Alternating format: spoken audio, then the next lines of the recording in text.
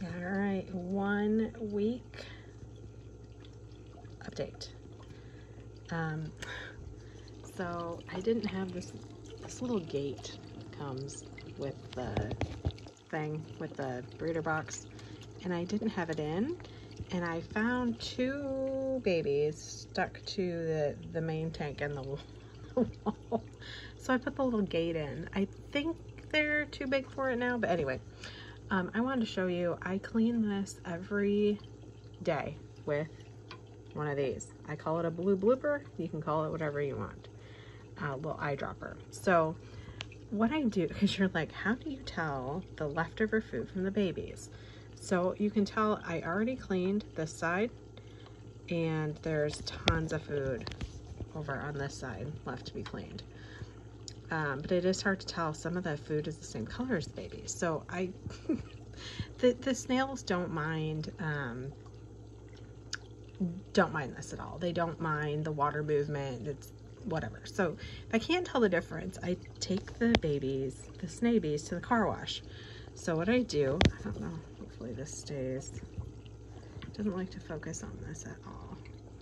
So what I do, I'm not gonna look at my camera, as I, oh, I stick in my blue blooper and I just pick up a section of whatever I pick up. So I just suck up whatever I suck up. Okay, here we got, see the two snails that fell down? Okay, that was a bad example, but they stayed, they stayed outside the blue blooper. But let's see if I can, sometimes I just pick up whatever I can pick up and I turn it to the side.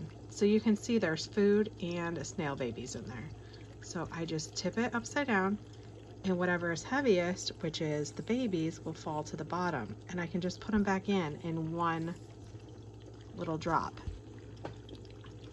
And usually what's left is food. This one's gonna eat two little drops. Yep, all that's left in there, sorry, I'm looking at the actual thing. All that's left in there now is gross food. So I'm gonna put that in my little,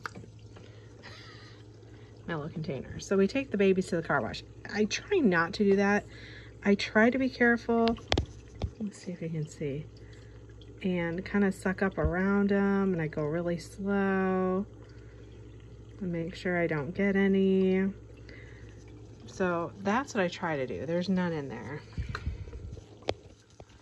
But like I said, sometimes they're a really dense area with a lot of crap and you're not sure if there's snails in there. You just grab it up. There's one, see?